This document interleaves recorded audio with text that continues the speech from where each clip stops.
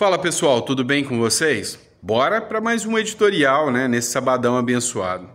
Vocês já repararam uma coisa? Não adianta a Rede Globo bater, não adianta a grande imprensa ficar inventando factoides de joias, de, de sabe, a BIM paralela. A verdade dos fatos é a seguinte: quem já é petista e acredita que o Lula nunca fez nada e o Bolsonaro é um ladrão de joias, já acredita. Quem acredita que o Bolsonaro é uma pessoa que está sendo perseguido, estão fazendo uma devassa na vida dele da família ele, dele, já acredita. Como eu, por exemplo, acho que sim, estão fazendo uma devassa, não agem da mesma forma em relação ao Bolsonaro e o Lula nem de longe. Mas sabe o que, que eu quero mostrar para vocês? Quanto mais, quanto mais batem no Bolsonaro, mais gente que antes estava do lado, ah, não sei se eu confio no Bolsonaro, tá começando a entender, olha, o cara está sendo perseguido mesmo. Eu sou um desses. Eu sou um desses. E eu tô vendo petista, tá? Esquerdista, petista não, esquerdista, até é, comentarista, mudando a chave agora, porque tá falando, não, peraí, tá feio, eu não falei nada do Lula e falar que o que o Lula fez pode e eu não posso, tá? Então, tá feio. Acompanha a chegada do Bolsonaro em São Paulo. Amanhã vai ter manifestação, a manifestação vai bombar. Bolsonaro já chegou em São Paulo e chegou com tudo.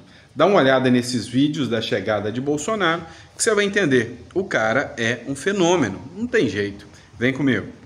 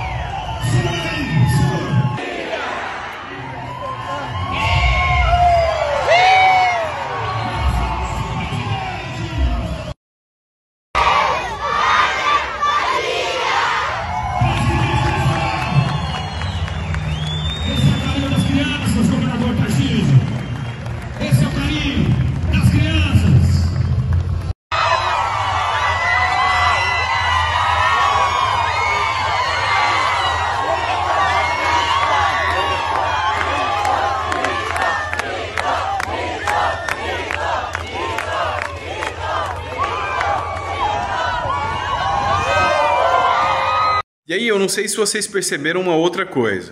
Viu que o Tarcísio de Freitas estava do lado do Bolsonaro. Hoje, eu fiz críticas ao Tarcísio de Freitas. Né? Eu falei que eu discordo completamente dele em relação à reforma tributária. Tá, mas o cara não tem que acertar todas também.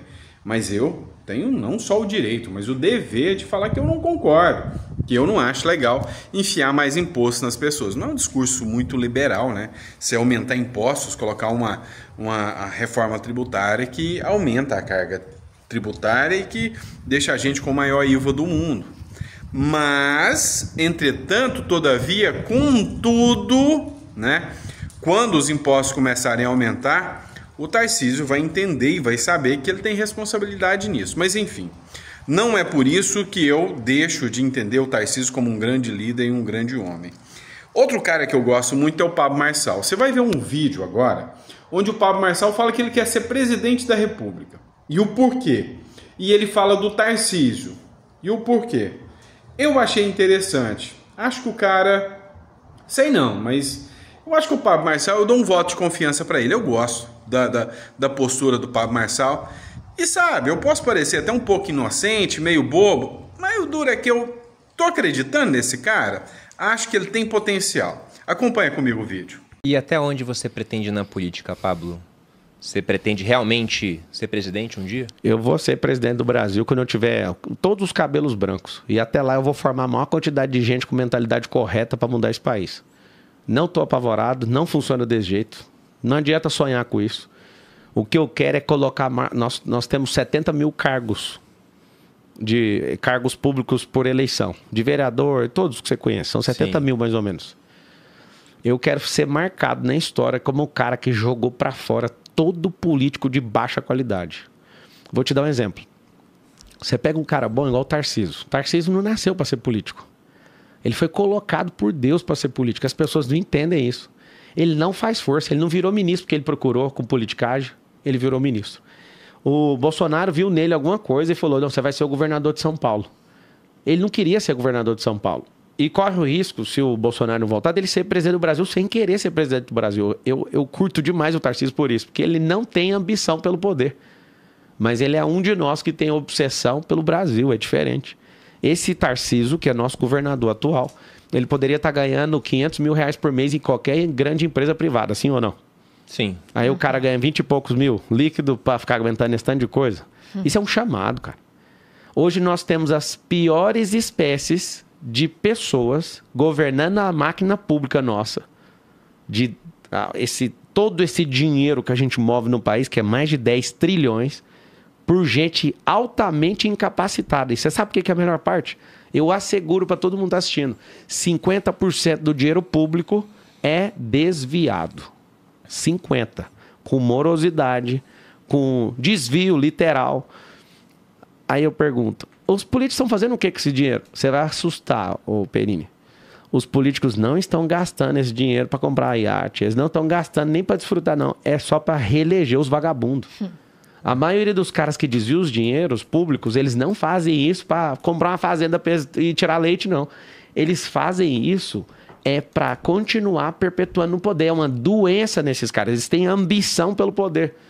Tem dois tipos de poder, o verbo o substantivo. Quando a pessoa fala eu posso, eu consigo. Eu consigo fazer o que eu quiser. Eu tenho que treinar, ganhar energia para isso. E tem o, o verbo, o poder é, substantivo. Eu tenho poder. Quem tem um poder tem um resultado. Eu posso fazer o que eu quiser. Mas eu não consigo hoje cortar isso aí sem a ajuda do povo. Eu não consigo administrar a máquina de São Paulo sem a ajuda do povo. Eu preciso de Deus, eu já estou com ele, agora eu preciso do povo. O povo tem que descobrir meu coração e o que, que eu estou disposto a fazer. Você não acha que é uma consequência quase lógica que a política funcione dessa forma? Pelo seguinte, né? Até você falou pô, dos meandros da política, coisas que eu não conheço, mas pegando em termos lógicos e dando um exemplo para quem está em casa, partindo daquilo que é conhecido para o desconhecido das pessoas. Imaginando a casa de cada um. Se o cara tem em casa coisas muito caras, tem tesouros lá dentro, o que, que ele faz para que ele não seja roubado, ele começa a aumentar o custo do ataque. Ele coloca muro, ele coloca cães, ele coloca arame farpado, cerca elétrica, ele coloca câmera, se únicos vizinhos coloca segurança na rua, ele compra uma arma, ele vai aumentando o custo até que o meliante saiba, poxa, lá a recompensa é X, mas o custo é maior do que X, não vale a pena. Só que o que dá para se fazer quando a recompensa, como você disse, é um orçamento de, usando o número que você passou, Pablo, 111 bilhões em São Paulo. E se você Esse pensa em é governo é estadual, mais ainda, em governo federal você tem o poder de tributar 203 milhões de pessoas e a máquina de imprimir dinheiro. Então, se a recompensa é tão grande, não tem barreira ao ataque. Aí, se todo mundo vai querer esse anel do poder, digamos assim, né? O anel de Giges lá do Platão, quem tem vantagem nessa briga, cara, é o cara que está disposto a tudo. Se você fala, não, eu sou um cara ético, Pô, Pablo, para chegar no máximo de poder no Brasil, você está disposto a, a fazer tudo que for preciso? Não. Você fala, não, tudo não, pô. Eu não quero roubar, eu não vou entrar em conchavo, eu não vou matar. Mas tem um cara que fala, não, eu faço tudo. Esse cara tem vantagem sobre você. Ele tem vantagem e nós vamos empurrar ele para fora. Porque é o seguinte, o mundo é movido por storytelling. Vou te dar um exemplo. O Lula estava na cadeia cumprindo, acho que ele cumpriu 588 dias de prisão. E com o Storytelling, ele usou o Papa, o Papa falou ele é a alma mais inocente, ele ficou repetindo isso uhum. na cabeça de todo mundo, maior fake news que existe, né? Tem que ser muito ruim para ter uma paz daquela lá que ele fala. O que, que aconteceu? O Lula, ele conseguiu tirar o Deltan, fazer ele perder o cargo. Ele conseguiu quase caçar o Moro, só que ele está num partido político forte, um grupo para proteger ele. E ele está reconstruindo a história. E ele fala com a boca dele: nós temos que ter a narrativa certa para que o Bolsonaro não volte. Sim. Tudo que está fazendo é tudo sobre storytelling. O que, que esses caras aprenderam? A democracia é o governo do, do mais popular. E o que, que esse povo está assustado? Eles estão assustados com o tanto de seguidor que eu tenho. Só que eles esqueceram que eu estou ajudando a nação há muitos anos. O tanto que eu tenho de seguidor não representa 1% do impacto que eu já gerei nesse país. Eu não consigo andar em lugar nenhum e nem em país nenhum sem alguém chorar e falar: você mudou minha vida. E esses caras não sabem medir esse impacto. Nem eu sei, imagina eles. Eles acham, eu sou o terceiro político mais influente do Brasil no Instagram hoje, só perco pro Lula e pro Bolsonaro. Olha, não no, sabia disso. É, acabei de passar o Nicolas. Não tem ninguém. Aí eles pensam, nossa, é o tanto de seguidor. Que seguidor, moço? Seguidor não define absolutamente nada disso. Agora, as pessoas que vivem esse lifestyle, elas não vão deixar em paz. É gente do mundo inteiro torcendo por essa coisa. Então, assim, qual que é a lógica? Não se resolve em uma eleição, então tem que ter paciência. Não resolve em duas, tem que ter paciência. Não resolve em 20. Em 20 resolve. Se a gente conseguir rodar esse plano de colocar a gente do seu perfil do seu perfil. Deus, não, não. Olha lá. A gente não vai. A gente não recebeu o chamado ainda. Mas é o perfil, amor. É, né, ela, gente? Ela é falou que eu perfil. quero ouvir. Então, receba o chamado público.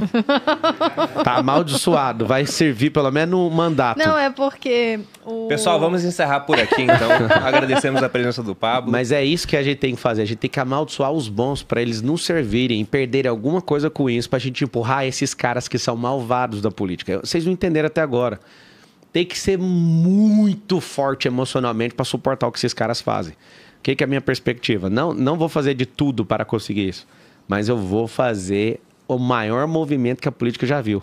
Se colocar a cara que, meu, meu amigo, você pensa, eu já eu ouço alguns cortes seu. Você pensa muito bem. Se você só for picado pelo espírito público, não tem como. Antes de chegar aqui, eu tava com a minha esposa ela viu eu dançando, eu tava ouvindo um, um rap, ela falou assim, que você tá desse jeito? Eu falei, tem alguma coisa sendo transformada dentro de mim, mano. Eu tô apaixonado no povo, eu não sei o que, que tá acontecendo. Ela riu demais. Eu falei, eu vou servir. Se não tiver essa transformação dentro da pessoa, ela não vai conseguir. Então, assim, tá amaldiçoado já seu marido, ele vai servir na política, você vai ver o que eu tô te falando. Você pediu, você falou, não temos um chamado, já tá destravado o chamado. Vamos ver se eu tenho esse poder ou não. Sabe por quê? Vou ficar quieto. Hoje, Acho melhor ficar hoje, quieto. hoje você não acredita nisso. Mas não. na hora que você vê, na hora que você perceber que a gente conseguiu fazer em São Paulo, você vai falar. Deixa eu explicar uma coisa. O Brasil tem mais de 100 anos sem guerra nossa. A gente participa ali, manda uns três aviões de gente para ajudar em outras guerras. Cara, a coisa mais linda que tem é uma nação defendendo o seu povo. E a gente só tem os ruins para defender a gente. Os bons não têm coragem. Os bons têm medo de perder a fama. Os bons têm medo de perder a reputação. Os bons têm medo de perder patrimônio. Os bons têm medo de perder um tanto de coisa. Eu, porque eu não sou vítima, Perini. Senão eu ia te falar aqui uma série de coisas que esses caras já fizeram contra mim. Eu vou continuar caladinho fazendo o que precisa ser feito. E todo mundo que está assistindo, às vezes vocês ficam enchendo o saco. Por que, que você não serve a gente como povo? Vai virar vereador, cara. Eu fiquei 10 meses, rodei 62 mil quilômetros, cara não peguei um real de dinheiro público para fazer a campanha de presidente. Aí sabe o que acontece? Faltando 13 dias, os caras cancelam a minha eleição. Aí eu falei, ah, vocês vão cancelar a minha eleição? Vira esse trem pra deputado então, vamos ganhar. E a gente foi eleito, cara. Depois o Lula foi lá, sitiou o partido, derrubou tudo. Por que, que você não conseguiu assumir como deputado? Porque eu vi que você foi eleito Lula. e não conseguiu. Não, foi três vezes e tudo. O sistema é, é um, ele tem um jeitinho ali, ele tomou o partido. O único partido que eu consegui entrar, que era um partido de merda, inclusive. O cara que fez isso comigo tá preso na Polícia Federal hoje. É um cara que tomou partido e tomou mais de 50 milhões de fundo é, partidário e torrou tudo. É por isso que ele está na cadeia. Eu espero que ele fique aí pra, e devolva. Não é só ficar na cadeia, não. Espero que ele devolva o dinheiro, porque eu não gastei nenhum real do partido, cara. O desenho que está sendo feito é para não dar certo e eu vou provar para todo mundo que tem como. O Partido União Brasil está tá em vias de, de vir comigo na nossa chapa. Tá soltando na mídia aí tudo. Eu não quero um real do dinheiro deles, de fundo partidário. Não quero. Eu vou pedir pro povo. Eu não vou pôr do meu bolso, porque eu fui pôr do meu bolso alguns milhões que a gente colocou no, na campanha passada. O que, que aconteceu um dia? Eu acordei com a Polícia Federal lá dentro de casa. O é. que, que aconteceu? Cadê o dinheiro? Que dinheiro? O dinheiro é meu, cara. Só para você entender o contexto. Eu fui denunciado porque eu coloquei na minha, no CNPJ de campanha dinheiro meu, da minha esposa e um sócio colocou. A gente pegou esse dinheiro e pagou as minhas próprias aeronaves, que é mais barato do que fretar, com o meu próprio dinheiro que eu doei. Não pedi dinheiro para ninguém, zero dinheiro público. E aí eu paguei os meus carros blindados, é das empresas, na verdade, né? E aí eles me instauraram um inquérito desse para ver se eu arrego. Eu não vou arregar, pode ir até o fim, não fiz nada de errado, coloquei o dinheiro. E eu sou um bom administrador, eu não vou pagar 30, 40 mil reais a hora de um helicóptero fretado. Eu vou usar o meu, que é mais barato. E fiz certinho conforme a legislação. Só que isso tudo é para mudar a opinião pública. E eu não tô nem aí para isso, porque eu não vivo de reputação, eu aprendi a viver por fruto. Vocês estão assistindo, a, a reputação a nota social de quem você aceita. Então, por exemplo, se tem cinco amigos meus que estão chateados comigo, a minha nota reputacional cai.